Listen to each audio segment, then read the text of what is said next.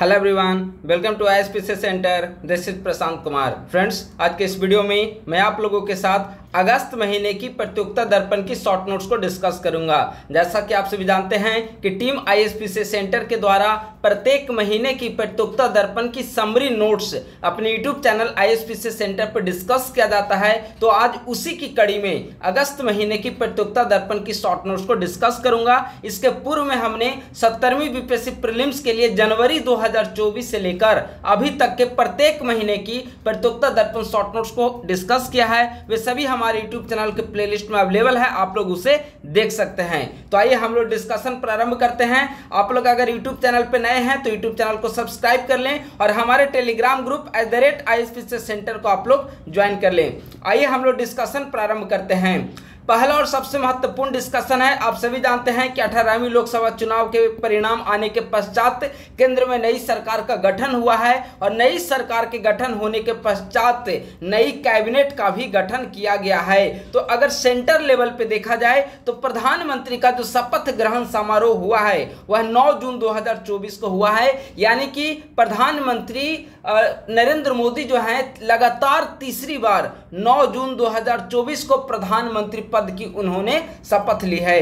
इस बार जो मंत्रिपरिषद का गठन हुआ है, उस मंत्रिपरिषद में टोटल 72 मेंबर हैं। यानी कि कैबिनेट मंत्री, राज्य मंत्री, स्वतंत्र प्रभार के मंत्री, इन सभी को मिलाकर कुल मंत्रिपरिषद के सदस्यों की संख्या बहत्तर है। प्रधानमंत्री के साथ में, ठीक है? यानी कि एक प्रधानमंत्री plus twenty other ministers cabinet मंत्री अगर देखा जाए तो बहत्तर सदस्यों में कैबिनेट मंत्री तीस, राज्य मंत्री 36 और राज्य मंत्री स्वतंत्र प्रभार वाले मंत्री हैं पाँच। तो टोटल हो गए 71 और एक प्राइम मिनिस्टर तो टोटल मेंबर हो गए 72 कुल अगर मंत्री परिषद में देखा जाए कि महिलाओं की कुल संख्या कितनी है तो महिलाओं की कुल संख्या सात है, यानी कि मोदी 3.0 कैबिनेट में सात महिला मंत्री भी शामिल हैं।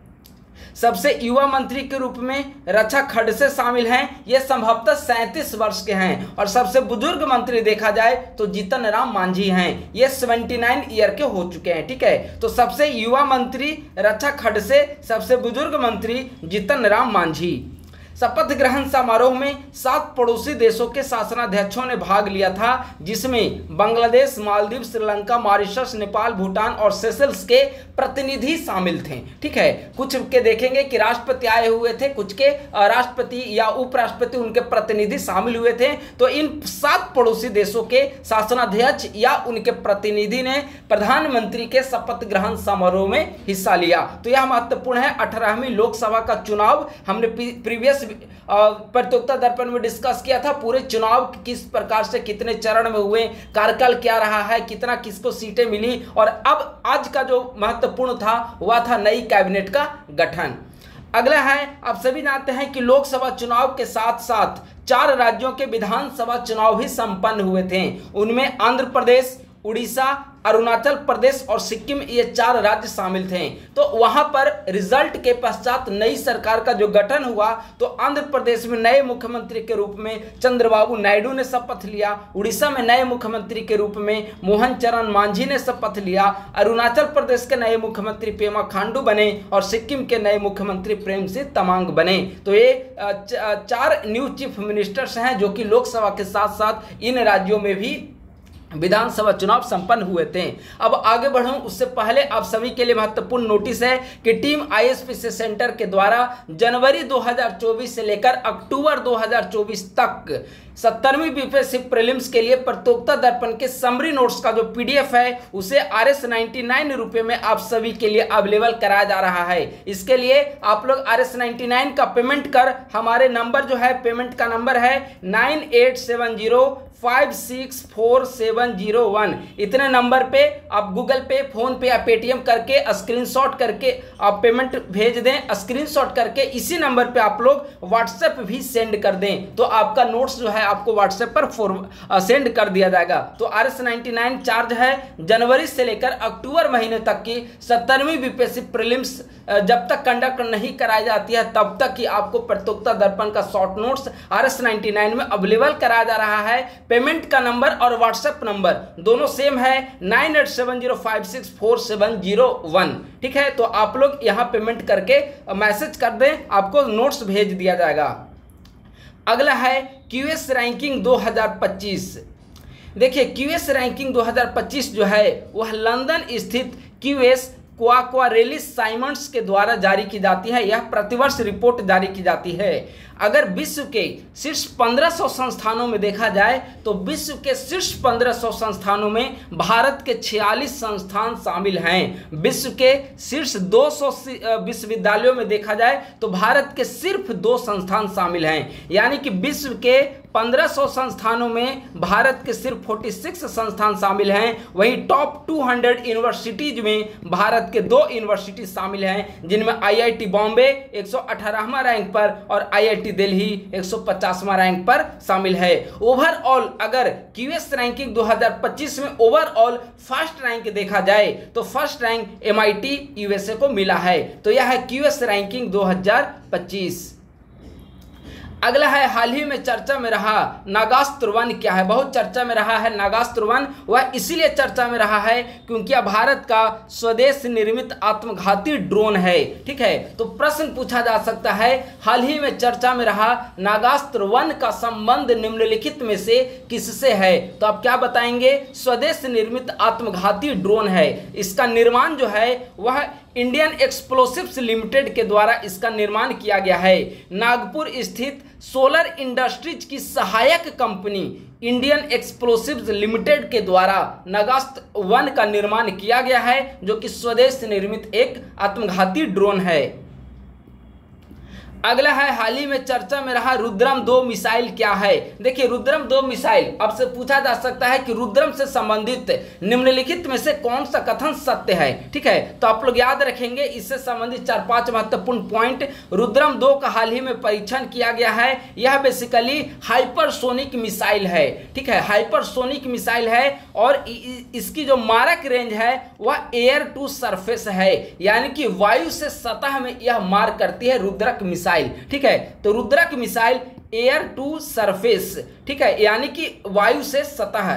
डीआरडीओ के द्वारा उड़ीसा तट पर इसका परीक्षण किया गया है और रुद्रम दो की जो रेंज है, वह 300 किलोमीटर इसकी रेंज है।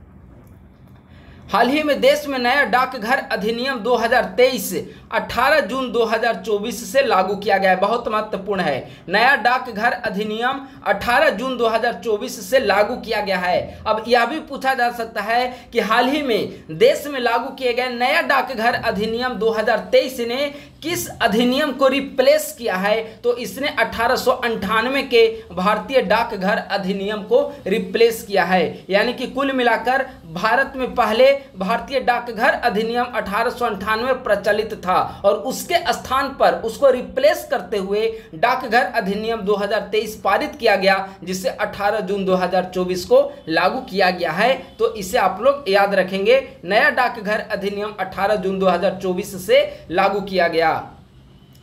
हाल ही में श्रीनगर को विश्व शिल्प नगरी का दर्जा प्रदान किया गया है और विश्व शिल्प नगरी का दर्जा प्राप्त करने वाला भारत का यह चौथा शहर बना है। अन्य तीन शहर में जयपुर, मैसूर और मामल्लपुरम स्थित है, ठीक है? तो विश्व शिल्प नगरी हाल ही में किस शहर को प्राप्त, प्रदान किया गया? तो आप बताएँगे श्रीनगर को। श्रीनगर उत्तर भारत का पहला और संपूर्ण भारत का चौथा शहर है, जिसे विश्व शिल्प नगरी का दर्जा दिया गया है। तो अन्य जो तीन शहर हैं, उनमें जयपुर, मैसूर और मामल्लपुरम है।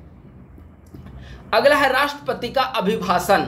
देखिए, आपने पॉलिटी पॉलिटी में ज़रूर आपने पढ़ा होगा कि नई लोकसभा, जब लोकसभा का चुनाव होता है, उसके पश्चात नई लोकसभा का जब गठन किया जाता है तो दोनों सदनों का एक संयुक्त अधिवेशन में राष्ट्रपति के द्वारा अभिभाषण, दोनों सदन में राष्ट्रपति का अभिभाषण होता है। ठीक है? भारतीय संविधान के आर्टिकल 87 में राष्ट्रपति के अभिभाषण की चर्चा की गई है, और इस बार माननीय राष्ट्रपति द्रौपदी मुर्मू के द्वारा 27 जून 2024 को संसद के संयुक्त सत्र में राष्ट्रपति का अभिभाषण संपन्न हुआ। तो 27 जून 2024 को राष्ट्रपति ने अपना अभिभाषण दिया संसद के संयुक्त सत्र में, जिसका वर्णन भारतीय संविधान के आर्टिकल 87 में किया गया है। दक्षिण अफ्रीका के नए राष्ट्रपति कौन बने? तो हाल ही में दक्षिण अफ्रीका के नए राष्ट्रपति सिरिल रामफोसा यह पुनर्निर्वाचित हुए हैं, ठीक है? यह लंबे समय से राष्ट्रपति हैं दक्षिण अफ्रीका के और फिर से एक बार सिरिल रामफोसा दक्षिण अफ्रीका के नए राष्ट्रपति पुनर्निर्वाचित हुए। मैक्सिको की यह महत्वपूर्ण है। मैक्सिको की पहली महिला राष्ट्रपति कौन बनी? तो मैक्सिको की पहली महिला राष्ट्रपति क्लॉडिया सिनबाम बनी है।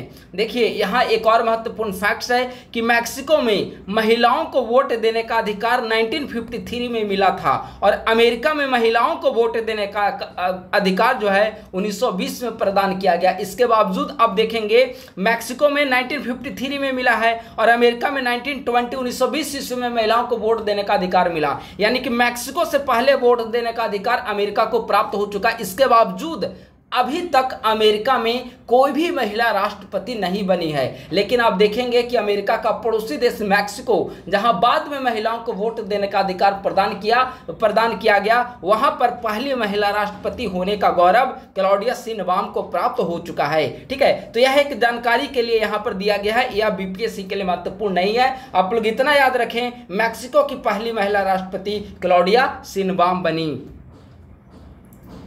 हाल ही में विमान दुर्घटना में किस देश के उपराष्ट्रपति का निधन हुआ है? तो मलावी के उपराष्ट्रपति का हाल ही में विमान दुर्घटना में निधन हो गया है, महत्वपूर्ण है, इसे याद रखेंगे। और एक और विमान दुर्घटना में आप देखेंगे कि ईरान के राष्ट्रपति का भी निधन हो गया है, ठीक है? तो उपराष्ट्रपति अगर पूछेगा तो आप बताएँगे मलावी और ईरान के राष्ट्रपति का भी निधन हुआ। अगला है पचासवां जी सेवन समिट 2024 बहुत महत्वपूर्ण है जी सेवन यह मेंस के लिए भी यह टॉपिक काफ़ी महत्वपूर्ण हो जाता है जी सेवन टॉपिक ठीक है? देखिए, पचासवां जी सेवन समिट है, आप लोग एक बात याद रखेंगे। कौन सा जी सेवन समिट है? पचासवां, ठीक है? इसके बाद इक्यावनवा जी सेवन सबमिट जो है, वह अगली वर्ष जो है, वह कनाडा में होगा, ठीक है? देखिए, यहाँ पर लिखा गया है, इक्यावनवा जी सेवन सबमिट कनाडा में 2025 में कनानारिस्क अल्बर्टा में होगा, ठीक है? अभी आइए पचासवां जी सेवन समिट पे। तो पचासवां जी सेवन समिट जो है, वह 2024 में इटली के अपुलिया में हुआ था। इटली के अपुलिया के फसानो में। इसे फसानो प्रवास के नाम से भी जाना जाता है। जी सेवन समिट जो है 13 से 15 जून 2024 के बीच में चला और एक खुशी का बात यह है कि जी सेवन का सदस्य नहीं होते हुए भी भारत लगातार इसमें औपचारिक सत्र में हिस्सा ले रहा है। अगर जी सेवन के सदस्य को देखेंगे तो जी सेवन में सात विकसित अर्थव्यवस्था वाले देश शामिल हैं। ठीक है, America, Canada, Germany, Japan, Italy, Britain, France, ये सात देश जो हैं, वह जी सेवन में शामिल हैं। इसमें भारत के अलावा अन्य ग्यारह से बारह देशों को इसमें आमंत्रित किया गया था, और यह पांचवा ऐसा अवसर था जब आउटरीच सत्र में प्रधानमंत्री नरेंद्र मोदी ने भाग लिया। इसके अलावा पूर्व प्रधानमंत्री मनमोहन सिंह भी पाँच बार ऑटरिच सत्र में भाग ले चुके हैं जी सेवन के। तो आप देखेंगे कि लगातार लंबे समय से भारत की वैश्विक स्थिति को देखते हुए, वैश्विक रणनीतिक महत्ता को देखते हुए भारत को लगातार आउटरीच सत्र में आमंत्रित किया जाता रहा है। और इस सत्र में चौदह जून को भारत के प्रधानमंत्री का संबोधन हुआ और भारतीय प्रधानमंत्री ने AI and energy Africa and the Mediterranean topic पर अपना संबोधन देते हुए ए आई फॉर ऑल का आह्वान किया। इस समिट की कई सारे महत्वपूर्ण बातें हैं, जो कि मेंस का जब मैं मॉडल आंसर डिस्कस करूँगा तो मेंस के पर्पज से वहाँ पर डिस्कस किया जाएगा प्रीलिम्स के बाद। अभी जो प्रीलिम्स में पूछने एक फैक्ट्स है, उसे मैं मोटा मोटी आपके साथ डिस्कस कर दे रहा हूँ। जैसे इस जी सेवन समिट में यूक्रेन को 50 अरब डॉलर के ऋण देने की घोषणा की गई, और यह जो ऋण है, वह यूएसए के द्वारा दिया जाएगा। दो हज़ार तीस तक यह महत्वपूर्ण है। दो हज़ार तीस तक मिथेन उत्सर्जन में 75 प्रतिशत कटौती का लक्ष्य रखा गया है। यानी कि जी सेवन देशों के द्वारा 75 प्रतिशत मिथेन कटौती, मिथेन उत्सर्जन कटौती का लक्ष्य 2030 तक रखा गया है। पचासवां जी सेवन समिट इटली के अपुलिया के फसानों में और इक्यावनवा जी सेवन समिट कनाडा में 2025 में कनाना अस्किसस अल्बर्टा में आयोजित होगा। ठीक है? अगला है यूक्रेन शांति वार्ता यूक्रेन शांति शिखर सम्मेलन। देखिए 13 से 15 जून के बीच हमने बताया कि 13 से 15 जून के बीच जी सेवन समिट हुआ है, ठीक है? और 15 से 16 जून के बीच स्विट्जरलैंड में यूक्रेन शांति वार्ता शिखर सम्मेलन का आयोजन किया गया। तो आप लोग याद रखेंगे, हाल ही में यूक्रेन शांति वार्ता शिखर सम्मेलन का आयोजन किस देश में किया गया? तो आप लोग क्या बताएँगे? स्विट्जरलैंड में किया गया। इसमें भारत की ओर से किसने भाग लिया या फिर यूक्रेन शांति शिखर सम्मेलन में भारत का प्रतिनिधित्व किसने किया? तो भारत में विदेश मंत्रालय के सचिव पवन कपूर ने इसमें भाग लिया और भारत का प्रतिनिधित्व पवन कपूर के द्वारा, जो कि विदेश मंत्रालय में सचिव हैं, उनके द्वारा किया गया। लेकिन यहाँ पर महत्वपूर्ण है कि भारत ने भले ही अपने वहाँ पर प्रतिनिधि भेजे, लेकिन घोषणा पत्र पर भारत ने हस्ताक्षर नहीं किया। ठीक है? तो बारह, भारत सहित बारह देशों ने घोषणा पत्र पर सहमति नहीं जताई। एक और महत्वपूर्ण बात है कि जो यूक्रेन में शांति को लेकर जो समिट हो रहा है, उसमें रूस ही शामिल नहीं था। बिना रूस के शामिल किए यूक्रेन में शांति तो आ नहीं सकती, क्योंकि यूक्रेन का जो मसला है, वह रशिया और यूक्रेन के बीच विवाद है। रशिया जब तक संतुष्ट नहीं होगा, रशिया जब तक नहीं चाहेगा, वह यूक्रेन में हमला करना नहीं रोकेगा और तब तक शांति नहीं आ सकती। तो दोनों पक्ष जब तक एक टेबल पर नहीं बैठेंगे, तब तक शांति नहीं हो सकती। शायद इसीलिए विश्व के देशों के द्वारा हालाँकि प्रयास किए जा रहे हैं, लेकिन शांति अभी तक कायम नहीं हो पाई है। तो ओवरऑल पीटी के दृष्टिकोण से यहाँ पर दो तीन पॉइंट्स महत्वपूर्ण है।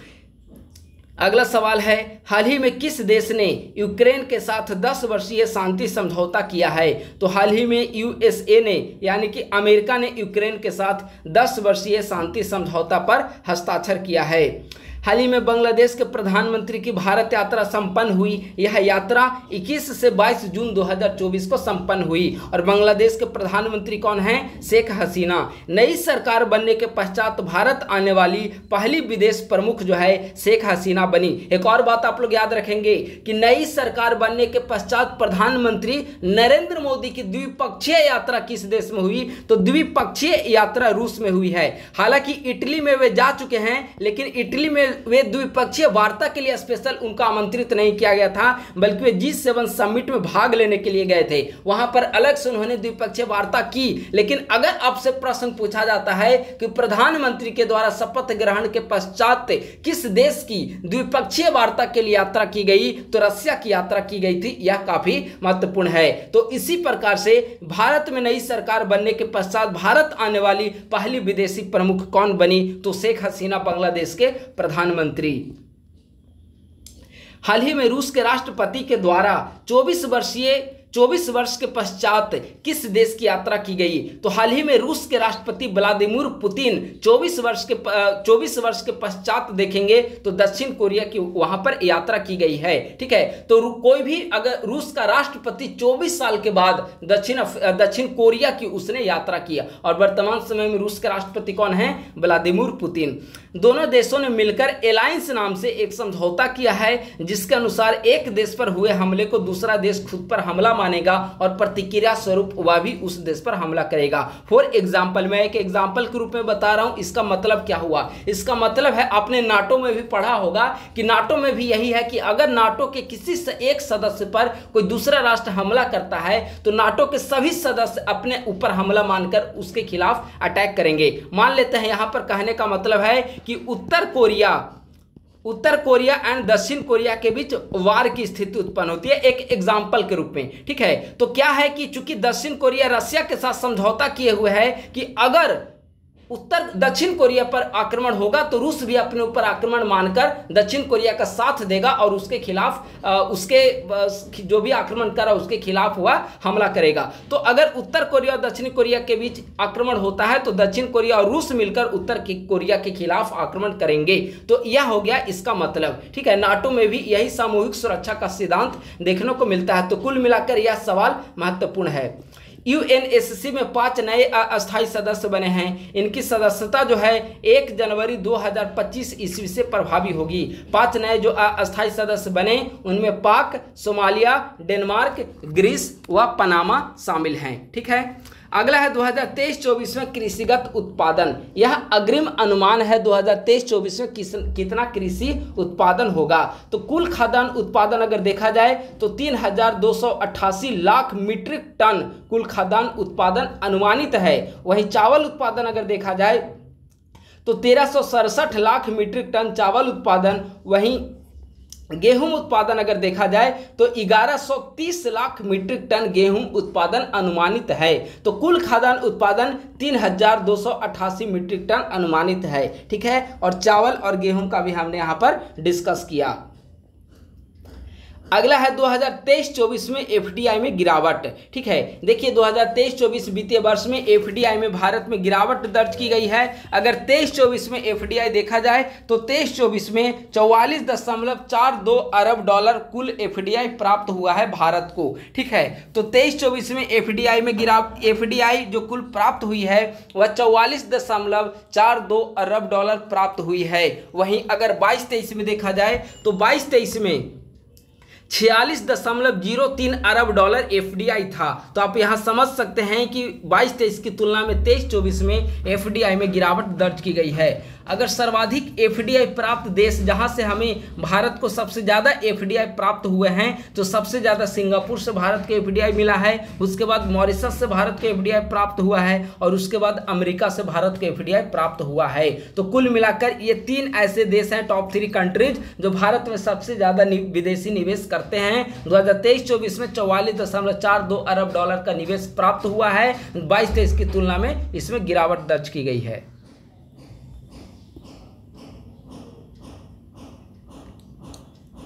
अगला है वित्त वर्ष 24-25 में एसबीआई ने 400 नई शाखाएँ खोलने की घोषणा की है। वित्त वर्ष 24-25 में एसबीआई कुल 400 नई शाखा खोलने की घोषणा की है, ठीक है? यूएनजी के उनासीवें सत्र के अध्यक्ष कौन बने हैं? तो UNGA, United Nation General Assembly यानी कि संयुक्त राष्ट्र महासभा के उनासीवें सत्र की अध्यक्षता कैमरून के पूर्व प्रधानमंत्री फिलेमान यांग के द्वारा की जाएगी। तो बहुत महत्वपूर्ण है, यूनाइटेड नेशन जनरल असेंबली संयुक्त राष्ट्र महासभा के उनासीवें सत्र की अध्यक्षता कैमरून के पूर्व प्रधानमंत्री फिलेमान योंग के द्वारा की जाएगी।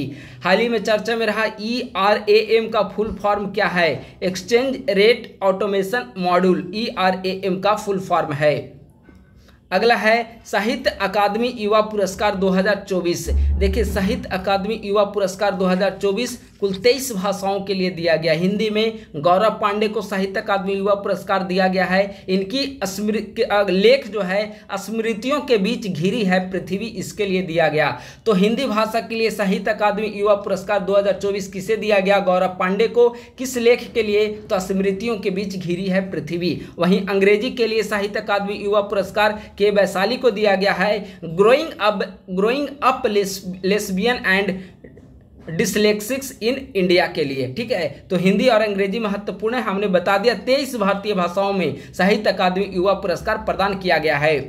अगला है टेम्पल्टन पुरस्कार 2024 टेम्पल्टन पुरस्कार 2024 पुमला गोबोडो माडिक की जेला को दिया गया। टेम्पल्टन पुरस्कार 2024 पुमला गोबोडो माडिक की लेजा को दिया गया है। आरबीआई को risk manager of the year award 2024 से सम्मानित किया गया है। तो risk manager of the year award 2024 से किस बैंक को सम्मानित किया गया? तो आरबीआई को।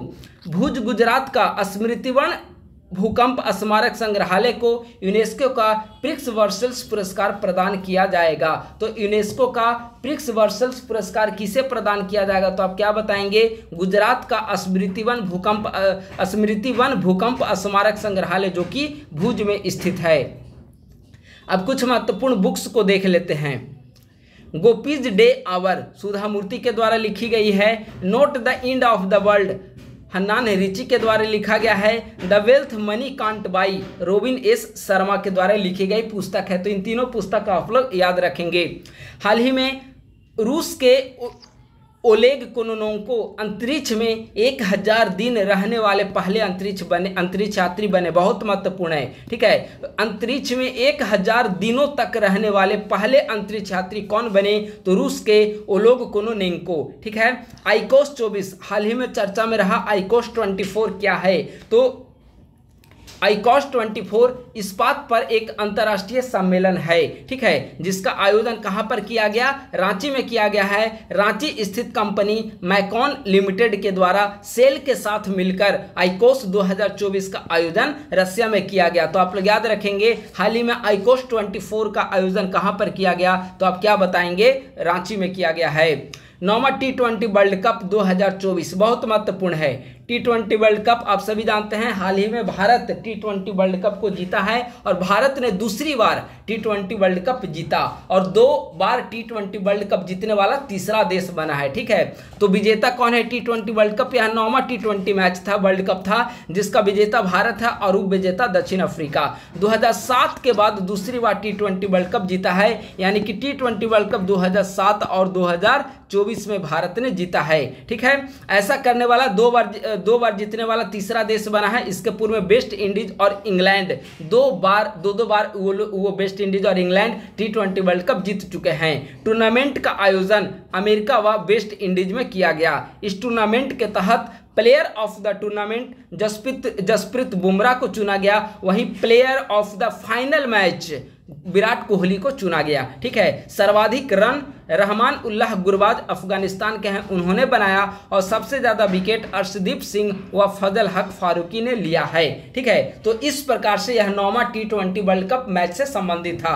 तो इस प्रकार से ओवरऑल अगस्त महीने की प्रतियोगिता दर्पण की जो महत्वपूर्ण हाईलाइटेड पॉइंट्स थी, जो कि सत्तरवीं बीपीएससी प्रीलिम्स सहित अन्य प्रतियोगिता परीक्षाओं में पूछा जा सकता है, उसे आज के वीडियो में हमने डिस्कस किया है। इसके पूर्व में भी जनवरी 2024 से लेकर अभी तक के प्रत्येक महीने की प्रतियोगिता दर्पण शॉर्ट नोट्स हमारे यूट्यूब चैनल के प्लेलिस्ट में अवेलेबल है। और प्लेलिस्ट में जाइए, प्रतियोगिता दर्पण शॉर्ट नोट्स एक अलग प्लेलिस्ट बना हुआ है। उसी में प्रत्येक महीने की प्रतियोगिता दर्पण का नोट्स आपको वहाँ पर मिल जाएँगे और इसका पीडीएफ के लिए जैसा कि हमने बताया, अगर इसका पीडीएफ आप लोग परचेज करना चाहते हैं तो आर एस आपको पे करेंगे। हमारा नंबर है नाइन